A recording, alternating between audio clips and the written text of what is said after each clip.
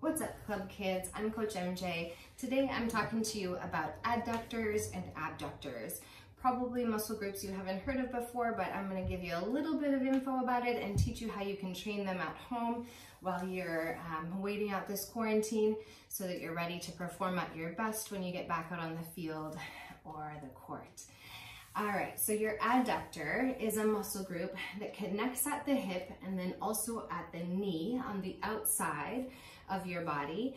And it's responsible for any time you move your leg away from your midline. So it helps you move outward. The abductor is a small muscle as well, but it's wide at its attachment. So it attaches in the front and the back of the hip region. And then it gets narrow as it comes to your knee. And the abductor is the muscle that is responsible for lifting your leg back to the center line. So any kind of juking or moving laterally, the adductors and the abductors are really important.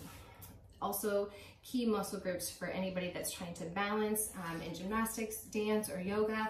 So these are um, good muscle groups to train and you can do it really quickly. Nice way to lean out the legs a little bit for summer and also help you perform when you get back onto the field.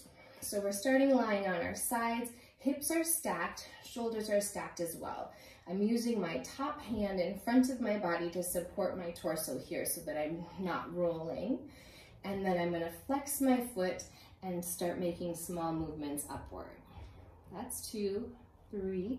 I'm just gonna do 10 or 15, imagining that I'm moving through friction on the way up and on the way down. Helps me to engage the muscle, and get the most out of every movement. I'm gonna count down from five, four, three, two, and one. For the second exercise, we're gonna draw a triangle with our foot. Point the toes this time, tap the toes in front of the body, lift directly above the bottom heel, and then tap behind the body before you lift again. So you can see where that triangle name comes from. We're drawing a triangle with our toe, having to lift up twice per round. So I'm just gonna do 10 here. That's four. Allow the hip to rotate. Feel that burn. It's okay to take a rest if you need to and then finish your 10. This is seven for me. Eight nine, and 10. All right, that top leg worked hard. Now we're gonna give it a rest. Bring it in front of your body. Shin can rest on the floor like this, or the foot can come to the earth, whatever feels right for you. You have to shift your hips back a little bit, but we wanna free up that bottom leg. So with a flexed ankle, we're gonna lift 10 times, again, moving through friction. That's three, five, eight, nine, and 10. Keep the foot flexed, small circles backwards. Two, three, four, five, seven, nine, and 10. We're going small circles forwards now, ensuring that we hit that muscle at both of its attachment points. Uh, five, six, seven, eight, nine, and 10. All right, swing it around, four exercises on each side.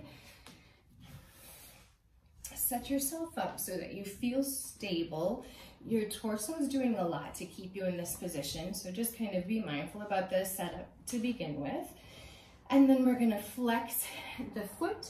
You can bring the head low if that uh, helps. Sometimes it feels better on the neck, but soft bend in the knee, flexed foot, I'm lifting for 10.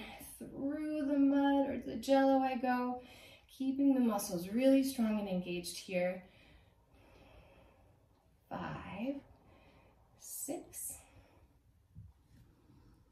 Everything stays stacked. Eight, nine, and 10. Now I point the toes, tap in front of the body, lift high, and then tap behind. So this is definitely the hardest movement as the hips have to shift to make the tap in front and back, but we're trying to keep the torso nice and steady. Four, six, feel the burn, eight, nine, and 10. Good. Almost done. Top leg comes in front again. You can rest the shin on the floor. That feels okay. I'll try it this way for you on this side. Flexing the foot, we're gonna pulse upwards. 10, 9, 8, 7, 6, 5, 4, 3, 2, and 1. Now, the hardest part, circles backwards. Four small circles. We want that full attachment worked. Seven, eight, nine, and 10. And forwards with the circles, two, six, seven, eight, nine, and 10. All right. So that's the whole set. Because these muscle groups work to stabilize and they work in conjunction with larger muscles, they don't need a ton of focus, just a little bit of time helps. Um, so if you are working on keeping your body in shape and getting ready to get back on the field, I would suggest trying this training at home. It doesn't need um, any extra space or any extra equipment, so it's a good one for quarantine times. All right, you guys, I hope you're doing okay. I look forward to meeting you at the club again very soon. Take care.